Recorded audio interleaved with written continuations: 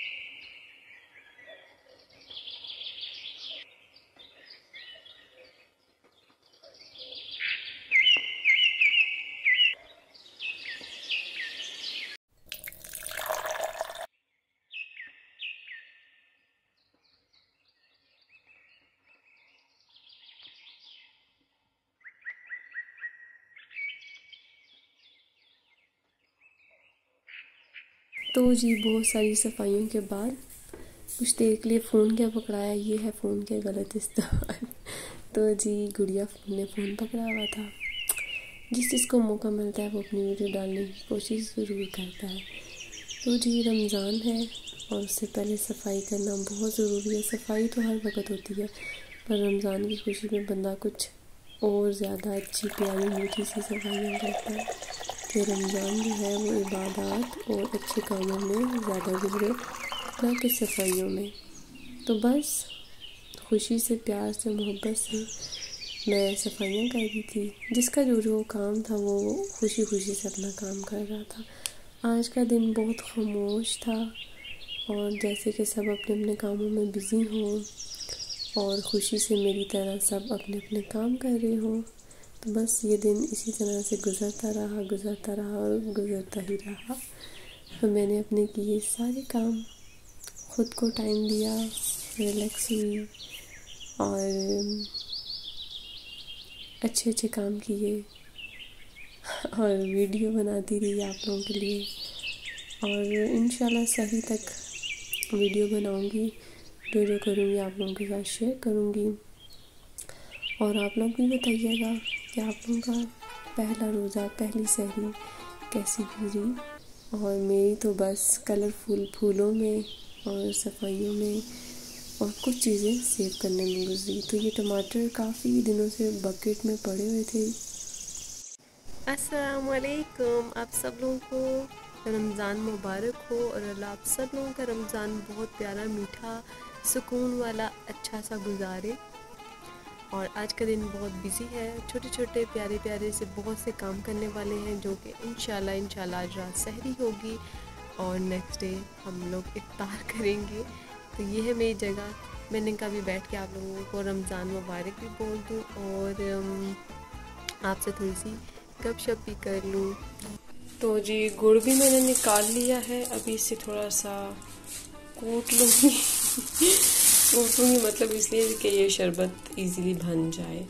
तो गुड़ निकाल लिया है और कुछ फ्रूट्स हैं, उन्हें फ्रीज़ कर लूँगी ताकि अफ्तारी के टाइम अच्छे से शरबत बन जाए। इसका भी आपको शरबत सिखाऊँगी।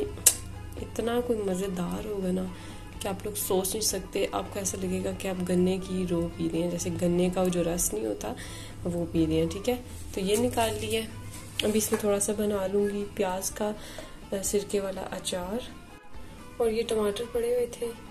अब इन्हें फ्रीज करूँगी, या फिर इन्हें कट करके धूप में रख दूँगी, ताकि ये ड्राई हो जाए। बहुत थोड़े से इसलिए इन्हें कट करके मैं फ्रीज ही कर लेती हूँ, क्योंकि बाहर ये ख़राब हो जाएँगे। अब इनकी मुद्दत नहीं है कि ये बाहर रह सकें तो बेहतर यही है कि मैंने फ्रीज कर देती हूँ। तो ऐसा कि किलो दूध का भी दही बना के रख देती हूँ, आधा बाद में बना लूँगी। क्योंकि ऐसा है कि ये ना हो कि रात को दूध जो है वो लेट आए और फिर उसको जमने में भी थोड़ा टाइम लगता है तो फिर सहरी भी करनी है इंशाल्लाह आज रात को। काले चने जो हैं, वो बॉयल हो चुके हैं और इसकी, इसका दही बना लेती हूँ, जाग लगा लेते हैं ऐसे। और जो बकाया रात को आएगा ना, उसका फिर दही बना लूँगी। ये पहले बन जाएगा तो ये फ्रीज़र में रख दूँगी। कि ये ठंडा हो जाए अब गर्मियों के रोज़े हैं तो ठंडा दही तो ज़रूरत होता ही है। पहले सोचा था कि इकट्ठा बना लूँगी, पर अब मैं कह रही हूँ कि हाफ़ बना के रख लेती हूँ, हाफ़ फिर बना लूँगी। जैसा कि आप लोगों को पता है कि मैं दही किस तरह से बनाती हूँ, जो पहले वाला दही था, वो थोड़ा फरीज था, कोई प्रॉब्लम नहीं, आप लोग आराम से दही बना सकते हैं। वो डाला, फिर दूध मैंने गर्म किया हुआ था, वो इसमें डाला और इससे मैंने जाग लगा दी। माशाल्लाह बेहतरीन दही सहरी के टाइम आप लोगों को अवेलेबल होगा। आप लोग ऐसे अपने घर में दही बना सकते हैं। ये देखिए अब दही जलने के लिए तैयार है। तो जी ये जो टमाटर मैंने इस करे थे क्योंकि इनकी मुद्दत नहीं थी कि मैं और टाइम के लिए बाहर रखा जाए ख़राब हो जाते। इनके ख़राब जो पीसेस थे वो मैंने कट कर लिए। फिर एक बॉक्स में कट करके रख लिया ताकि ये फ्रीज़ हो जाए और यूज़ में आराम से आ जाए। तो ना ये ज़ाया होंगे तो अब इन्हें कर दें फ्रीज चले कैंची लाऊं इसके लिए? नहीं जड़ों से खींचते हैं। अस्सलाम वालेकुम कैसे हैं आप सब लोग? तो ये आज ना मैंने प्याज उगाया हुआ था। ये मेरी किचन गार्डनिंग है छोटा सा तो इसमें मैंने ये प्याज उगाया हुआ। तो इसकी ना ये जो सब्जटानी है ये अब धूप की वजह से खुशक होना शुरू हो गई है। तो इनकी मुझे ज़रूरत थी। तो मैंने कहा, ये छोटा छोटा प्याज जो है, वो निकाले और अपने इस्तेमाल में लाते हैं। तो ये देखें। दिखाएँ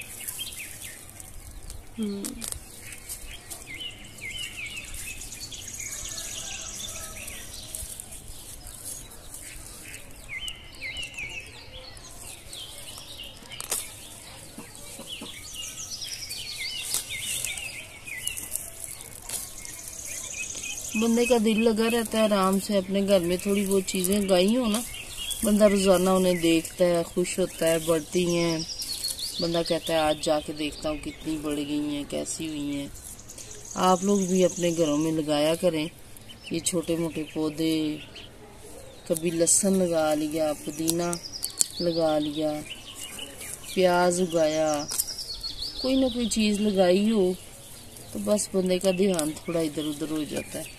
तो ये देखिए आप कितनी प्यारी लग रही है।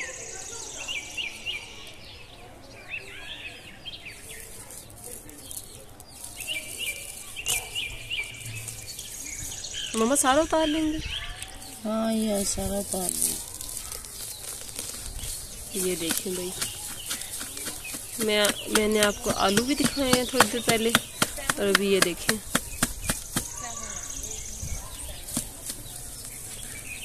अब आगे करें हाथ दिखाएँ। ये देखें।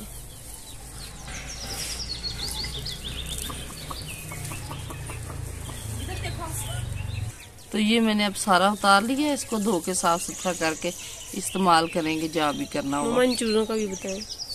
और इन चूजों ने ना मुझे बहुत तंग किया हुआ ठहरे मैं आपको चूजे दिखाती खराब कर ये देखें ये देखें। ये देखें। ऐसे भाग रही हैं जैसे इन्हें खा जाएगा कोई।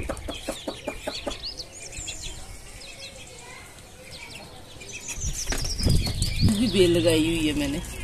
मैंने इसकी एनर्जी के लिए उनको निकाल लिया। मैंने कहा, चलो, इनको सही एनर्जी मिल जाए।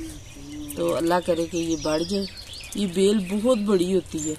तो इसके जो फिर पत्ते वगैरह होते हैं, वो उतार के बंदा पका भी सकता है। बहुत लजीज, बहुत टेस्टी बनते हैं। तो अल्लाह करे कि ये बढ़ जाए। मुझे बड़ी अच्छी लगती है कद्दू की बेल। तो फिर मैं आऊँगी किसी अभी इसको भी लगा रहने दूँगी। जब ज़रूरत होगी फिर इसको भी उतारूँगी। ये पालक है ये टमाटर लगे हुए हैं ये लहसुन लगा हुआ है बीच में धनिया भी है। तो ये, ये देखिए। इधर ये पुदीना दिखाओ लाट ये देखिए पुदीना कितना खूबसूरत है। पुदीने की तो अब रमज़ान में आराम से अपने घर से मैं उतारूँगी और फ्रेश पुदीने की चटनी बनाया करूँगी। ये मेथी है मम्मा। ये मेथी है और काफ़ी सारी चीज़ें और ये? ये रात की रानी है।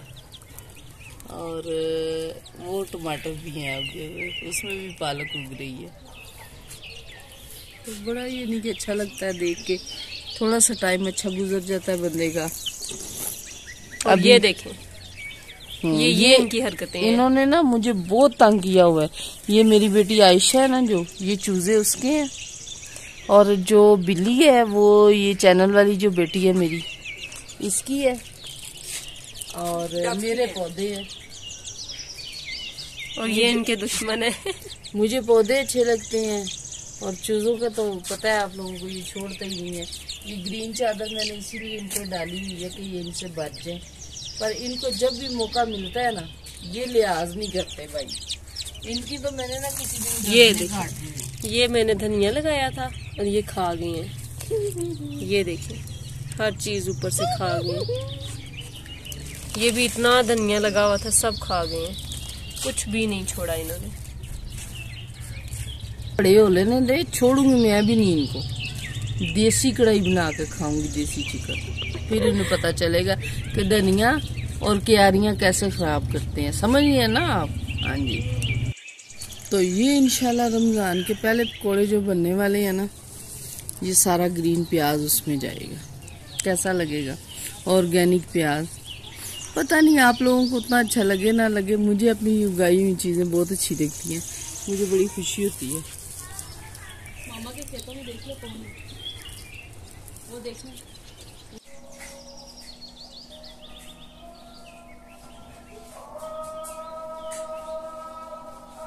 Mr. before.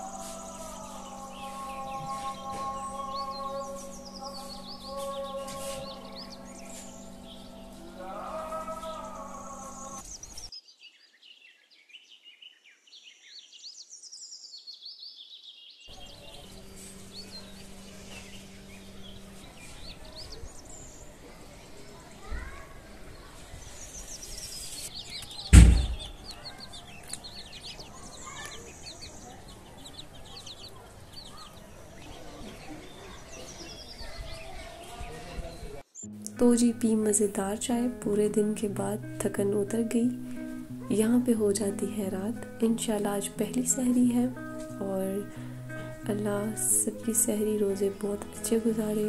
हम जाते हैं सोने के लिए। मिलेंगे सहरी में। चलें जी गुड नाइट अल्लाह हाफिज़। तो जी, जैसा कि सहरी का टाइम हो गया है और अब हर जगह से पराठों की खुशबू आ रही है। और किसी को आती है कि नहीं आती पर मुझे तो आती है।